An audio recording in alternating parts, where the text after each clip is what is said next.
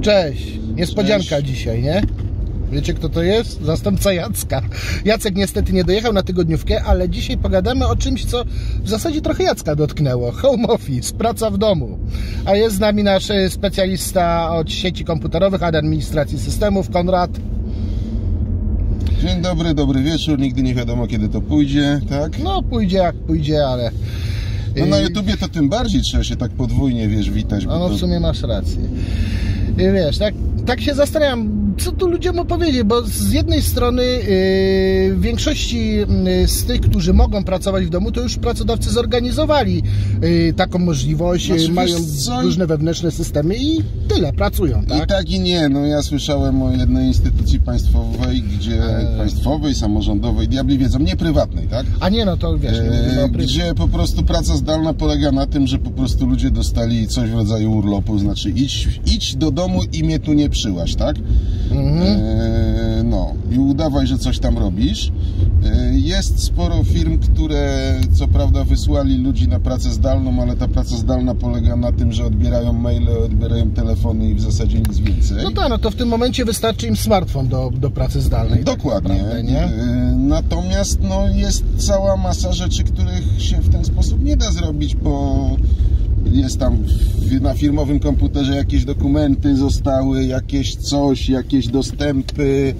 E, No, różnie to jest. Jeżeli firma była tak poukładana, że, że, że sobie mogła tak pracować, no to Mhm. sobie przeszła. Natomiast jeżeli nie była, to albo przeszła na tę pracę zdalną, tak powiedzmy, nie do końca, albo szyła jakieś rozwiązanie na szybko, które wyszło albo i nie wyszło. To, to zależy od tego, No.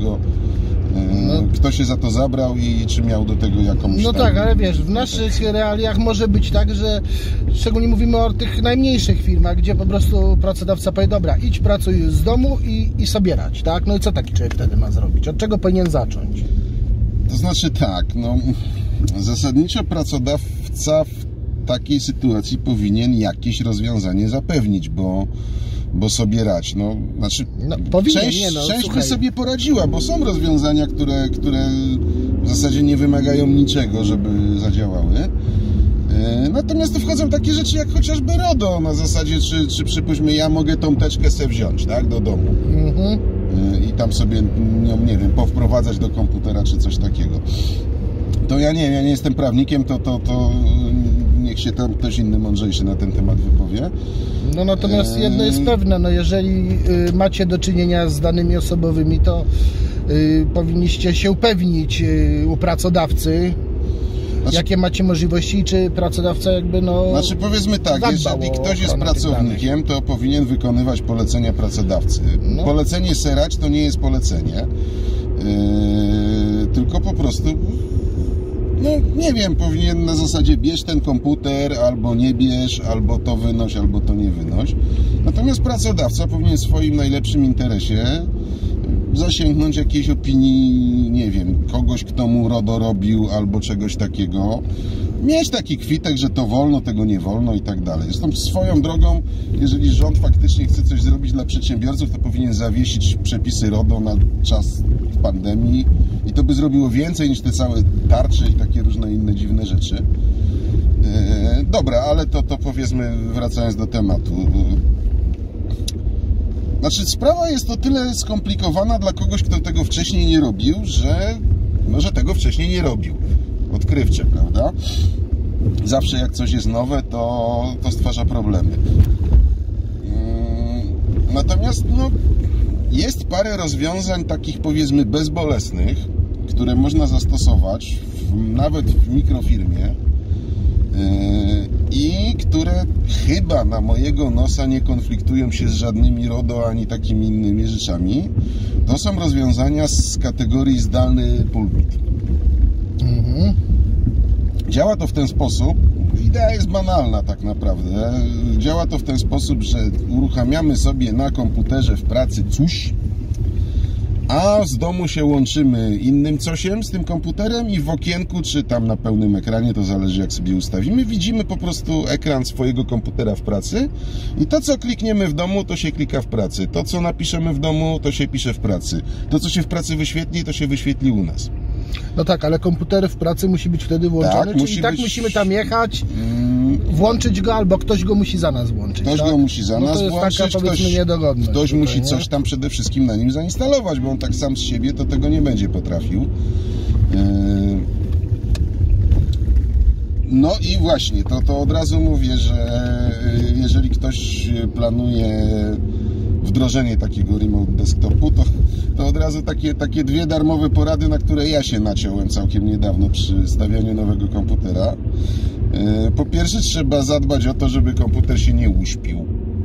Taka prozaiczna sprawa.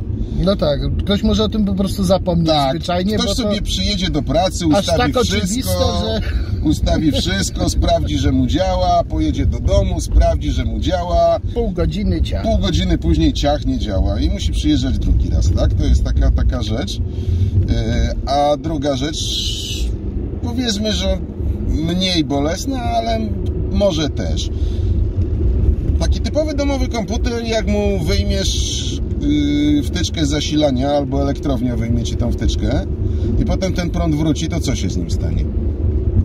No, zależy jak masz ustawione, albo się włączy, albo nie. Teoretycznie się włączy, ale... Ale jak to No ustawisz, właśnie, bo no. większość ludzi jednak nie ma No właśnie, no, no, no. Niby pierdółka, nie? No i to też warto o tym pamiętać, jak sobie przygotowujemy komputer do pracy zdalnej. Albo ktoś nam przygotowuje, to Albo ktoś nam warto temu ktoś przypomnieć chyba, bo ktoś może zadziałać rutynowo i po prostu o tym zapomnieć, potraktować to jako oczywistą oczywistość, że jest. No chłopie, no ja się na tym naciąłem, na tym drugim przynajmniej. Stawiałem nowy komputer i, i tyle. No stary był, teraz uwaga, na Windowsach XP. Taki zabytek. Akurat przed pandemią żeśmy y, postawili na, na dziesiątkach nowy. Wreszcie się udało. No i stary się nie usypiał, bo XP-ki domyślnie się nie usypiały aż tak. One tam sobie wygaszały ekran czy coś takiego. A nowy się usypiał, no i tyle. Głupia sprawa, nie? Mhm. Ale no dobra, załóżmy, że sobie to wszystko już poustawialiśmy, albo ktoś nam to zrobił. Yy, Zdalny pulpit działa, a jak z bezpieczeństwem takiego połączenia? No bo tak naprawdę domowy komputer przeważnie może być bardziej narażony na yy, jakieś ataki z zewnątrz No. niż yy, komputer w firmie. No przeważnie tak, no z Zwłaszcza obserwacji... kiedy z różni obserwacji użytkownicy mają dostęp do domowego komputera, tak? z takich naszych obserwacji to wiemy jednak, że w pracy jest różnie, raz lepiej, raz gorzej, ale w domu to naprawdę potrafi być bardzo Dokładnie. źle. Co trzeba Dzieciak zrobić? na pendrive'ie przyjdzie i tam coś przyniesie i tak dalej. i w ogóle. Znaczy tak, przede wszystkim sama praca zdalna, taka typu zdalny pulpit, ona na wirusy jest dosyć odporna. Yy, bo wirus polega na tym, że po prostu dokleja się do jakiegoś pliku, go tam sobie modyfikuje i potem tam sobie żyje w tym momencie, kiedy de facto my mamy tylko taką jakby pulpit zdalny, to sobie możemy wyobrazić, że mamy taki bardzo długi kabel do klawiatury i równie długi kabel do monitora, który sięga nam aż do domu. No to przez to wirus nie przejdzie.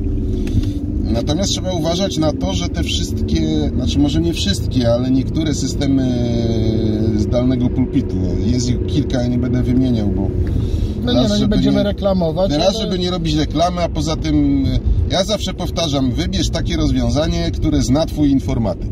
O, I to nie, jest dobra rada. I nie cuduj z żadnymi innymi rzeczami, bo się po prostu natniesz. Jak Twój informatyk to zna, to on to zrobi dobrze, a przynajmniej lepiej niż takie, którego nie zna. Yy, więc tym bardziej nie chciałbym nas wymieniać, ale niektóre z nich mają wbudowaną tako, takie ułatwiacze różne, które pozwalają przy okazji tego zdalnego pulpitu także wymieniać się plikami. No i to, szczerze mówiąc, dla higieny warto by było wyłączyć, jeżeli nie jest to potrzebne. Mhm. Poza tym co, no tam mówi się o myciu rąk i takich innych rzeczach, no to powiedzmy trochę o higienie yy, komputerów. To oczywiście znowuż nie będzie tak jak przy myciu rąk nic nowego. No, No bo, tak, bo ale- wszyscy wiemy, że mamy myć ręce, tylko teraz myjemy jakoś bardziej, tak? Yy, no co, no jeżeli mamy antywirusa, zakładam, że większość ludzi ma, no to sprawdźmy, czy on aby na pewno jest aktualny i czy się aktualizacje definicji wirusów ściągają. Yy, No, nie wiem, jeżeli na przykład nie musimy dzieciaka wpuszczać na nasz komputer, bo mamy osobny, to go nie wpuszczajmy. niech on się tam na swoim bawi. Y, Mimo, że może nasz jest fajniejszy i on by wolał, to, to, to, to nie, jakoś mu tam przyciąć. Mhm. Pozakładajmy hasełka. Ja wiem, że fajnie jest logować się bez wprowadzania hasła, bo to zawsze jedna rzecz do roboty mniej, ale tak No tak, szczególnie, że nawet wiesz, te, te wszystkie systemy autoryzacji za pomocą odcisku palca czy rozpoznawania twarzy, no nic nie zastąpi starego, porządnego, dobrego hasła, ale takiego naprawdę porządnego, tak? No, tym bardziej, że Nie, chciałem... nie, nie może to być kwerty, czy tam 1, 2, 3, 4, tylko... A, a widzisz, właśnie, jedna ciekawa rzecz, no bo No. przy pracy zdalnej, jeżeli mamy zdalny dostęp, a nie daj Boże ten nasz komputer w pracy miał autoryzację na odcisk palca, A, no to, no to niestety by wypadało zmienić sposób autoryzacji. no tak, ale z reguły to występuje łącznie, albo paluch, albo, albo hasło, także myślę, że tutaj akurat nie ma większego problemu, po prostu wchodzimy hasłem bez palca, nie? No tak, ale to też warto zwrócić uwagę. No ale to warto sobie- się upewnić, że można wejść innym sposobem autoryzacji niż, niż y, biometria, tak? tak? Chociaż szczerze mówiąc nie wiem, czy nie ma jakichś zdalnych y, rozwiązań, które by potrafiły też palucha prze, No przeskanować. prawdopodobnie, jeżeli nasz komputer to obsługuje, ale no to jest do sprawdzenia i tutaj no znowu jakby doradzamy rozmowę z waszym administratorem, który powinien wam w tym po prostu pomóc. No nie może was zostawić samych sobie właśnie na zasadzie sobie radźcie. Ja wiem, że realia są trochę inne, ale no trzymajmy się powiedzmy Znaczy, realia są takie, że ktoś, powinno, że jak nie? ktoś nie ma informatyka, a większość małych firm nie ma informatyka na No tak, etacie, no- no dokładnie. to ma tak zwanego człowieka od komputerów. To może być syn właściciela, to może być zaprzyjaźniony student, ale ktoś taki jest.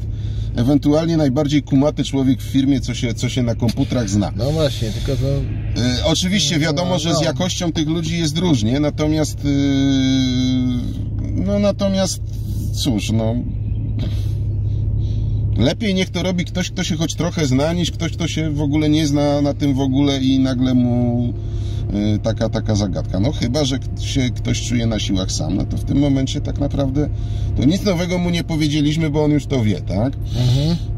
Mm, Tak, no ale wiesz, no, tak naprawdę mm, opowiadamy o tym dla osób, które mm, albo zostały pozostawione samym sobie z tym problemem, albo właśnie też nie do końca wiedzą, jak to ugryźć, z której strony i w ogóle co robić dalej. Nie? To znaczy tak, jeżeli ktoś jest taki, że jest pozostawiony sami, sam sobie albo, albo nie wie co zrobić, to znaczy, że nie ma tego informatyka, bo jeżeli by był, no albo jest skrajnie niekompetentny, tak? Bo jeżeli, No bo jeżeli by był i, i znał się chociaż cokolwiek na robocie, to on to wszystko wie, co ja powiedziałem. No może nie wszystko, ale przynajmniej wie, gdzie doczytać, dogooglać i tak dalej, bo systemy zdalnego dostępu to nie jest nic nowego. No to zwłaszcza, że firm i tak tak pracuje, no szczególnie w naszej branży redakcje, no głównie opierają się na pracy zdalnej, tak? No, Więc tak, no. dla, dla powiedzmy kolegów z branży to kompletnie nic nowego nie mówimy, natomiast y, cały pomysł wyszedł tej rozmowy z, ze świadomości tego, że no ktoś może jednak nie wiedzieć wszystkiego na ten temat, albo zgoła nie wiedzieć nic, tak? No tak. A zaczę, zacząłeś mówić o, że tak powiem, dbaniu o czystość komputera. No, dbanie o czystość komputera to słuchajcie, autentycznie nie tylko antywirus i tak dalej, i zabezpieczenia, ale faktycznie fizyczna czystość. No, jeżeli gdzieś wychodzicie i wracacie do pracy, czyście co jakiś czas i klawiaturkę, i, i mysz, czy gładzik, bo serio, tam potrafi być więcej bakterii niż na desce sedesowej w publicznym WC, także no. No w klawiaturze tak. A w klawiaturze to po prostu- W klawiaturze to drugie śniadanie można Szczególnie takiej klasycznej. Odwróćcie czasem klawiaturę i spróbujcie ją wytrzepać, a się zdziwicie. Tego. Więc Znaczy, pokaż mi swoją klawiaturę, a powiem ci, ci co jesz na śniadanie, tak? To, no, w sumie tak. No. tak to mniej więcej Więc wygląda. y, może po, w ogóle powstrzymajcie się od jedzenia nad y, komputerem pracując zdalnie. Ja wiem, że to takie no, ojej, no truizm totalny, ale kurde, chociaż w tych czasach, w tej chwili, tak samo z telefonem też warto co jakiś czas wyczyścić, no. Ale wracając do, yy, do bezpieczeństwa takiej pracy zdalnej. Czy ym, jeżeli już mamy ten pulpit postawiony zdalny, Mhm. to co, po prostu siadamy, pracujemy, czy jeszcze coś musimy zrobić dla powiedzmy większego bezpieczeństwa firmowych danych, y, tego co robimy na komputerze, naszych plików y, służbowych, mm, ewentualnie co potem z tymi służbowymi plikami, które zostały na naszym, nazwijmy to domowym To komputerze. znaczy, wiesz, nie no, jeżeli pracujemy na pulpicie zdalnym, to nie mamy na naszym komputerze służbowych danych. No to ja jest, wiem, To ale... jest zresztą największa zaleta według mnie rozwiązań zdalnego dostępu. Okej, okej, okej, ale wiesz, może się zdarzyć coś, że nie wiem, będziemy jednak, y, nie wiem, pojedziemy gdzieś z tym komputerem, nie wiem, na działkę i sobie tam coś obrobimy, nie wiem, nawet jakieś tam zestawienie w Excelu machniemy, potem się podpinamy pod pulpit zdalny i je przerzucamy, no ale ten, tamten pierwotny plik zostaje na naszym laptopie, nie? Znaczy, no ja bym No go dla wiesz, no- bezpieczeństwa wywalił po prostu. To tak, najprostsze z możliwych rozwiązań. nie tak? kusić losu, bo to, to... Powiedzmy sobie tak, nie wierzę, żeby ktoś w tej chwili się czepiał o naruszenie RODO, ale za dwa miesiące, jak to wszystko minie, to ja nie wiem, co ludziom do głowy poprzychodzi, No bo tak. to nadejdzie, że tak powiem, czas rozliczeń. Znaczy, miejmy nadzieję, że nadejdzie, bo to będzie znaczyło, że naprawdę nie mamy większych zmartwień. Także w sumie to jak zaczną łazić inspektorzy RODO, to będzie najlepszy znak, że epidemia się kończy, albo już się skończyła. Bo w tej chwili to oni, jak to się ładnie mówi, pracują zdalnie, czyli sobie siedzą w domu i nic nie robią. No bo co może zdalnie robić pan inspektor RODO? Yy, Natomiast tak, no przede wszystkim są zalety takie jak przy epidemii normalnej, no zdrowy rozsądek. Mhm. Zdrowy rozsądek, no nie, nie, nie, nie, nie ustawiamy sobie hasła typu admin 1, przysłowiowe zresztą i legendarne, jak, jak pewnie niektórzy znają. Yy, Nie wiem, czy, czy, czy, czy znasz tą historię z admin 1.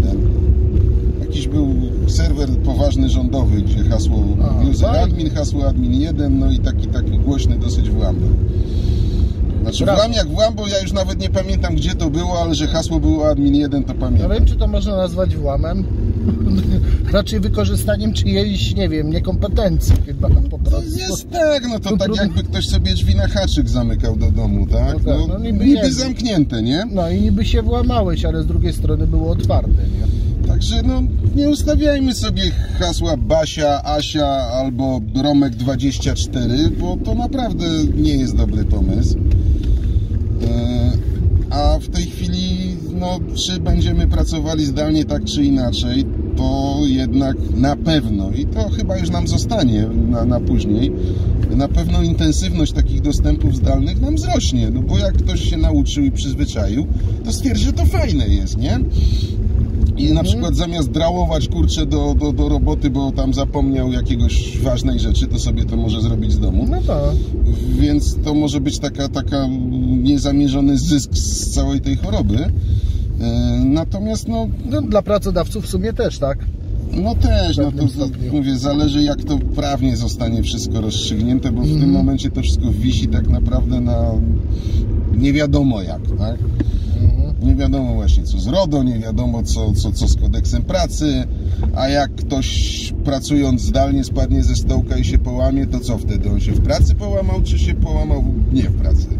No tak. No. Tak, czy, czy, czy pił w domu, czy pił w pracy? Tak, czy tak, tak, tak. To co właśnie tam podsumowali Łukaszenkę, jak No tak. No. Yy, także przede wszystkim tak no zdrowy rozsądek, słuchajcie, no komputer, szczególnie komputer w sieci, yy, to jest tak jak mieszkanie. No, jeżeli mamy coś cennego w mieszkaniu, no to staramy się, to nie dajemy kluczy pierwszemu lepszemu napotkanemu człowiekowi. Nawet jeżeli on się przedstawi, że on jest, że on jest bardzo tutaj ważnym facetem, co ma dla nas super ofertę. No, różne rzeczy robimy, ale raczej kluczy do mieszkania nie dajemy.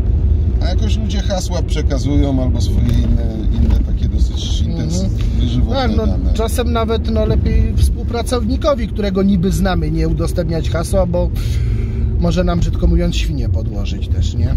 Ja wiem, że to takie no, To znaczy, wiesz co, ja bym to mocna nawet... teoria spiskowa, ale no też warto powiedzmy lepiej zrobić to samemu. To znaczy, tu się stara zasada z wywiadu sprawdza, że, że podwładni powinni wiedzieć tylko tyle, co muszą wiedzieć. Mhm. i ani grosza więcej, bo to już nawet nie o to chodzi, że on nam świnie podłoży.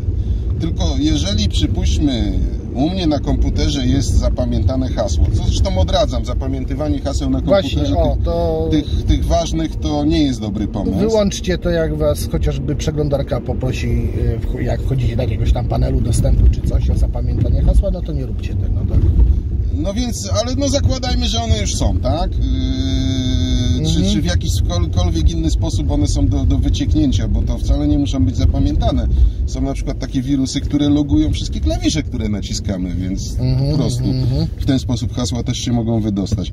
No więc jeżeli jest to u mnie, ja znam hasło, mój pracownik dwa, mm, zna hasło i załóżmy, że szansa na to, że mój komputer złapie wirusa jest taka, sam jak, taka sama jak to, że mój pracownik złapie Mhm. wirusa, no to szansa na to, że hasło wycieknie jest dwa razy większa, jeżeli mamy dwa komputery, na których to hasło A funkcjonuje. y, tak wtrącę, jeżeli korzystamy z pulpitu zdalnego, to czy hasła y, zapamiętane na komputerze tym w biurze To działają? się zapamiętują na komputerze w biurze, tak, i, I one tam działają. działają. Tak, no, Właśnie, bo to... No słuchaj, zwizualizuj sobie to, że masz, nie wiem, 10-kilometrowy Jasne, jasne. kabel do Nie, nie, nie, monitora no, po prostu.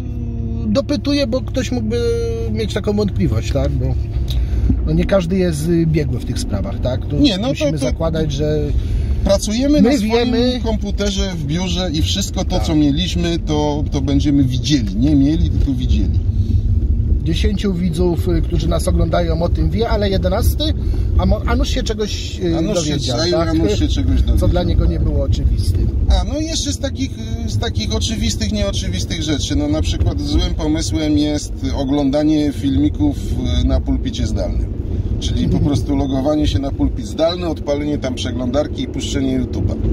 To może nawet i zadziała, ale to bardzo nieefektywne wykorzystanie łącza. Zdecydowanie lepiej ten filmik obejrzeć na swoim komputerze. Mhm. No, przy okazji nieefektywnego wykorzystania łącza, to też taka rzecz mm, trochę związana z pracą zdalną. To już aku- akurat naprawdę mało ludzi o tym wie, ale przesyłanie plików pocztą to jest jedna z najgorszych metod przesyłania plików.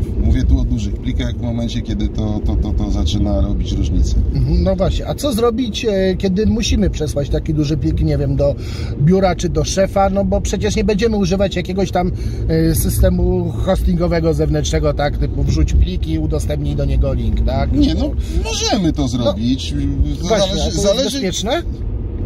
Wiesz, no, to jest tak No samo bezpieczne jak poczta u kogoś, tak? Albo temu No czemuś tak. komuś ufamy, albo temu czemuś komuś nie ufamy, to po Mhm, pierwsze. mhm. Po drugie, pytanie, czy te dane są tak naprawdę istotne, tak? No, Ja tu pomijam kwestię RODO, bo w w RODO to wszystkie dane są istotne i w ogóle wszystko powinniśmy szyfrować i tak dalej. Ale właśnie, możemy sobie to zaszyfrować na przykład. Możemy to spakować takim zipem z hasłem, czy tam innym, innym pakerem z hasłem. I powiedzmy, Mhm. Na poziomie małej firmy to jest wystarczająco bezpieczne rozwiązanie, bo ja wiem, że te hasła są różne i że one są do złamania, ale sorry, nie wierzę, że jakiś poważny haker będzie łamał hasło dostępu do, nie wiem, do wykazu płac firmy pod tytułem Ziutek i przyjaciele.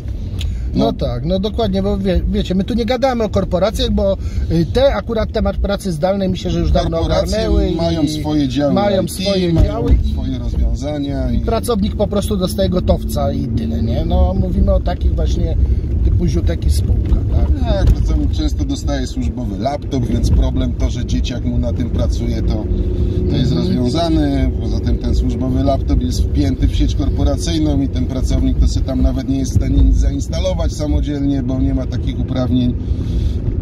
Ale to nie, to korpo to jest, to jest inna sprawa i to na pewno korpo to nie potrzebuje tej wiedzy, którą my tutaj No tak, bo powtórzę, no to w tym momencie robimy coś y, dla tych ludzi, którzy po prostu po raz pierwszy się z czymś takim spotykają i nie mają nikogo, kto by im y, w zasadzie mógł pomóc, tak, w tej materii. No jeszcze taka powiedzmy, jeżeli chodzi o pracę zdalną, y, taka rzecz, która tu akurat też może być nowa dla wielu, to są systemy wideokonferencji. Mhm. To jest taka, taka rzecz. Y, No, no są, tak?